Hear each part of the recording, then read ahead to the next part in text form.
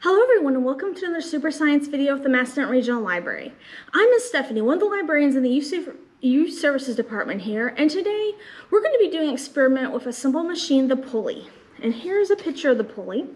And these are simple machines that help make work easier for us. And they combine a rope and a wheel and axis to lift large objects like this weight here. And what happens is the rope is in the groove, it's wrapped around this groove, and then it you pull on it and it lifts things. Now, somewhere a very important thing that uses the pulley are elevators. And you may like, oh, oh, an elevator, I just go in, I go up or down. But actually there's a lot of pulleys behind it that make the elevator go up and down. And I thought for this month's experiment, we would do an elevator challenge. Like you guys are gonna make an elevator that will lift a small object. And so to do that, um, I have the materials what I used to make it. And there's only a few rules for this, and I'll have it up in a slide too. But you have to have at least one pulley in your elevator. The tabletop must be at least two feet from the ground, and your elevator must lift a small toy or object. And so what I used to make mine, I used a few things. First, I would recommend like drawing out your idea on a with a paper and pencil or pen. I use some sharp scissors. Always have an adult with you for these. I use some cardboard off a cereal box. Elmer's glue. Some toilet paper rolls. Plastic cups. Two types of straws, a skinny one and a larger one. Um, my object was a dinosaur. I used some marbles, as you'll see in a few minutes. Uh, I used some small tape or you can use duct tape or masking tape. Both of these are pretty strong. I use some plastic buttons, a hole puncher, a leftover ribbon spool, a leftover, a couple leftover thread spools, and some yarn. So what I'm going to do is I'm going to show you the two that I made and I'll explain a little bit in detail like how I made them and what I used to make them. And hopefully this will give you ideas for your own elevator. So let's go ahead and get started.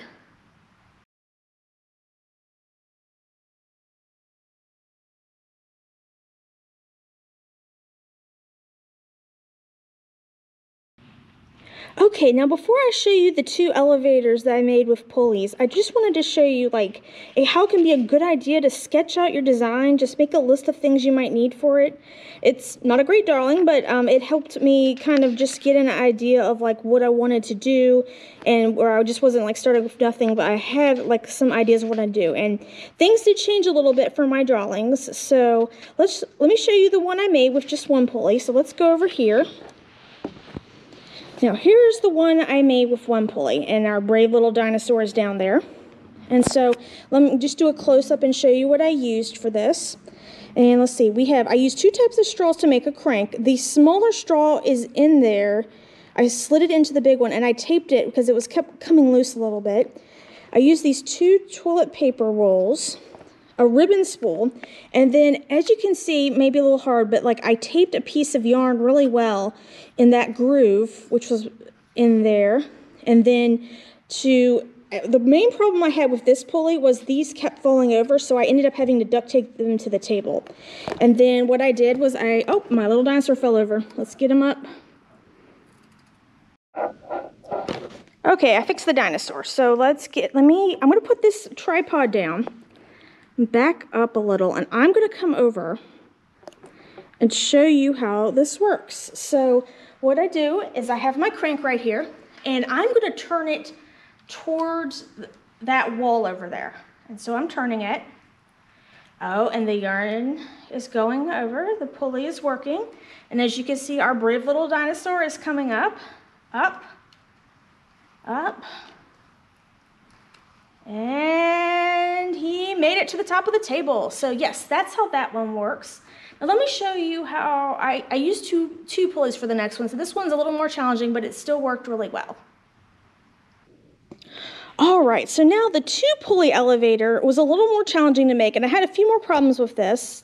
So it took maybe about three or four tries to get it just right. So as you can see, this there's two pulleys. They're identical.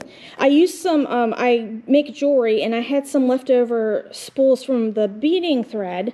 And so I taped one to this piece of cardboard. I folded a piece of cereal cardboard in half, and then I took a straw through it, and the first problem I had was trying to get it to stay, and I finally used some duct tape, and then it kept sliding off here. So what I did, I used a hot glue gun, but you could probably use Elmer's as well. You just have to let it dry overnight, and so that it would not fall off. And so then the next problem I had is this kept falling off the table whenever I tried to use the pulley. So I put some marbles in there to weigh it down, and as you can see, I did the same thing for the bottom. Now, I realized um, my dinosaur doesn't fit in this cup, so what I did instead is I put some marbles in, and I got this idea from the flagpole video I did, and what I did was I threaded a small piece of straw, I taped it to the cup, and threaded the through the yarn, and I made sure that the yarn was really tight, so it goes around, and what I'm going to do like the flagpole is I'm going to pull on this thread, and it's going to lift it up. So let me back up so you guys can see it a little better in action. Make sure I've got all of it in the frame. There we go.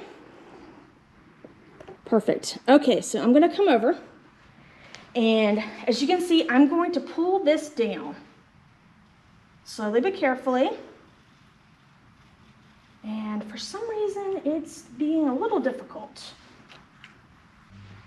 Okay, sorry, I had a small problem with the film, um, the camera. So, all right, so I'm gonna pull this down. And as you can see, it's slowly letting those marbles come to the top. And there we go, this elevator works as well. So I hope you guys can find some other ways, some things around your house to do it. Just remember, you got to have those pulleys. It's got to be at least two feet tall, and it's got to have be able to carry up a small object like the marble or the dinosaur in the last one. So good luck and be very creative.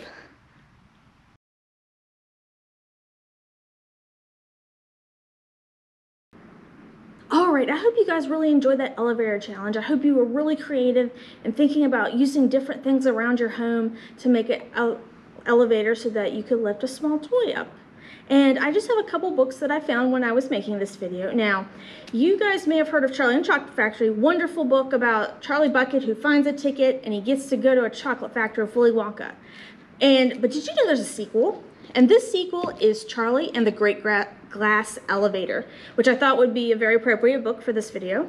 And it's another great adventure where Willy Wonka, Charlie Bucket, his parents, and um, both sets of grandparents go up in the Great Glass Elevator into space. And they have so many adventures. They find a space station and they have to fight the Vermicious Knids. So, and of course, there's Oompa Loompas in here as well. So, if you want to know about more about Charlie's Bucket's other adventures, I highly recommend this book. And then a book that I used that was great for making this video and gave me some good ideas of how to make my own elevators is how to be an engineer.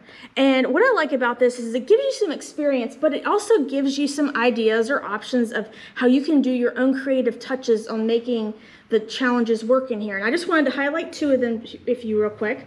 And this one was the main one that inspired one of my pulleys, the lifting weights. And as you can see that um, there's marble, they used marbles instead of a toy, but it was really helpful. Big, great pictures, easy instructions, but they do give some suggestions about how you could change it, make it a little more um, challenging, and so on. And then the other one that I thought was really cool, I did a variation of this in another video, but it was making a roller coaster. I made mine out of like toilet paper tubes, but um, the this one is made out of straws, and it looks really fun, and I think it actually will be a little easier than the one I made. But yeah, there's like so many good experiments. It explains the science behind them, and it's just like nice because there's like different experiments or things you can do at different level. Like some are easier, some are harder. So you can just pick and choose about what works best for you. Well, thank you for joining me for another Super Science video. I look forward to sharing more with you soon. Have a good day. Goodbye.